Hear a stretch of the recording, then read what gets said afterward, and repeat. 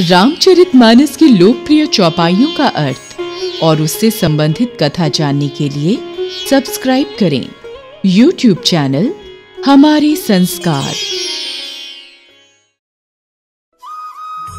जय श्री राम रामचरितमानस प्रत्येक भारतीय के जीवन का अभिनंद है। रामचरितमानस की चौपाइयाँ प्रत्येक भारतीय नित्य कहते और सुनते हैं।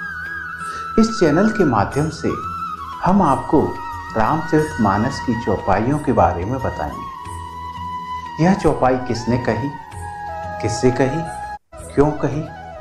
इसकी कथा भी विस्तार से समझाएँगे। यदि हमसे कुछ त्रुटि होती हो तो कृपया हमें कमेंट बॉक्स में अवश्य अवगत कराएँ। तो आज की चौपाई है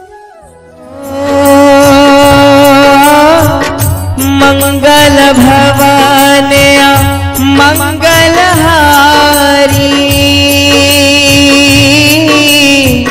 द्रवहु सदशरथ अजर बिहारी।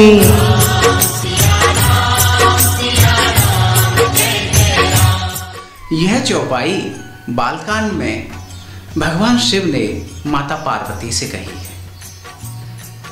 शिव विवाह के पश्चात कृपा के धाम भगवान शिव जब कैलाश पर्वत पर विराजमान थे तो माता पार्वती उनके पास गई। भगवान शिव ने उनका बहुत आदर सत्कार किया और अपनी वाई ओर बैठने के लिए आसन दिया।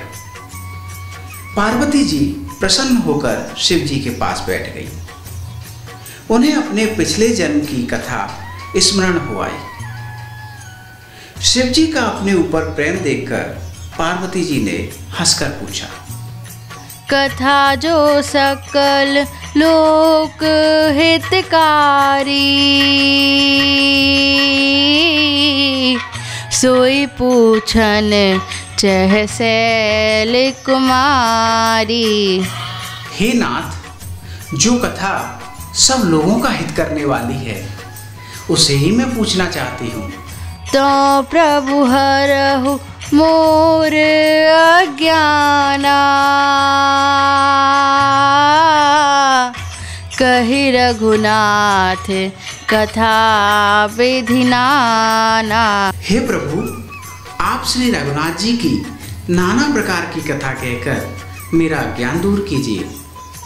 पुन्हि प्रभु कहु राम अवतारा। बाल चरित पुनि कहु दारा। श्री रामचंद्र जी के अवतार अर्थात जन्म की कथा कहिए तथा उनका उदार बाल चरित्र बतलाइए। कहु जथा जान की विवाही। राज तजासो दूषण काही? जिस प्रकार उन्होंने जानकी जी से विवाह किया और फिर यह बतलाइए कि उन्होंने राज्य का त्याग क्यों किया? बन बस कीन्हे चरित पारा कहु नाथ जिमी रावण मारा। हे नाथ उन्होंने वन में रहकर जो अपार चरित्र किए तथा जिस तरह रावण को मारा वह कहिए राज बैठी की निहि बहुलीला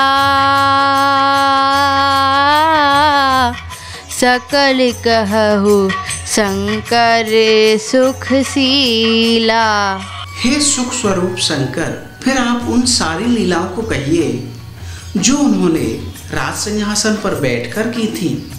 माता पार्वती के सहज, सुंदर और छल रहित प्रश्न सुनकर शिव जी बहुत प्रसन्न हुए। हर ही राम चरित सब आए।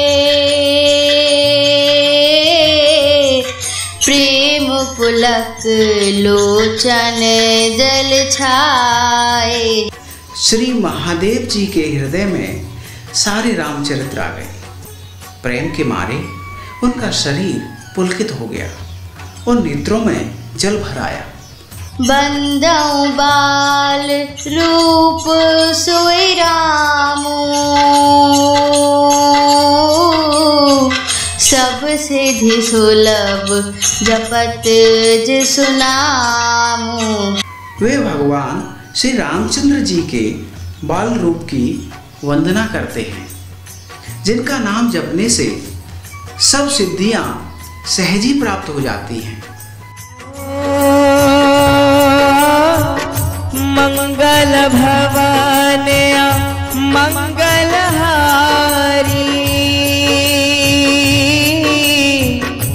द्रवहु सदशरथ अजर बिहारी। मंगल के धाम, अमंगल के हरने वाले। श्री दशरथ जी के आँगन में खेलने वाले बाल रूप श्री रामचंद्र जी मुझ पर कृपा करें। करि प्रणाम, राम ही त्रिपुरारी। हर्षि सुधा समगिरा उचारी त्रिपुरासुर का वध करने वाले भगवान शिव श्री रामचंद्र जी के चरणों में प्रणाम करके बहुत ही मधुर वाणी में बोले, हे गिरिराज कुमारी पार्वती, तुम धन्य हो। धन्य हो। तुम्हारे समान कोई दूसरा उपकारी नहीं है। पूछे हु रघुपति कथा प्रसंगा। सकल लोक जग पावन गंगा।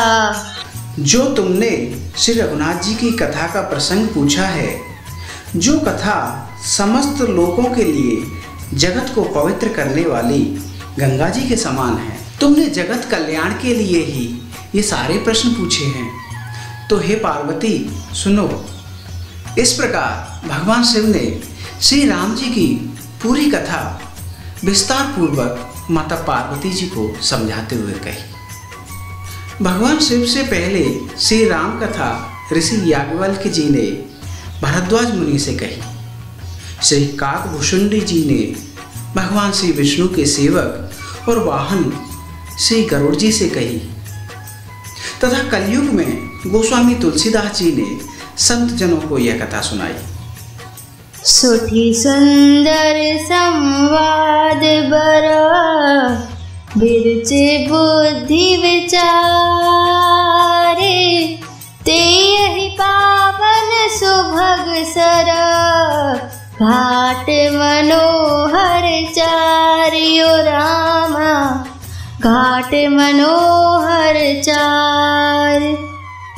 इस प्रकार रामचरितमानस में चार अत्यंत सुंदर और उत्तम संवाद रचे हैं। भूषुंडी गरुड़, शिव पार्वती, याज्ञवल्क्य और भरद्वाज, तथा तुलसीदास जी और संत। वही इस पवित्र और सुंदर कथा रूपी सरोवर के चार मनोहर घाट हैं। श्री रामचरित मानस की यह कथा आपको कैसी लगी, हमें कमेंट बॉक्स में अवश्य अवगत कराएँ। अगली चौपाई और अगली कथा के लिए हम अगले एपिसोड में मिलेंगे। तब तक के लिए जय श्री राम।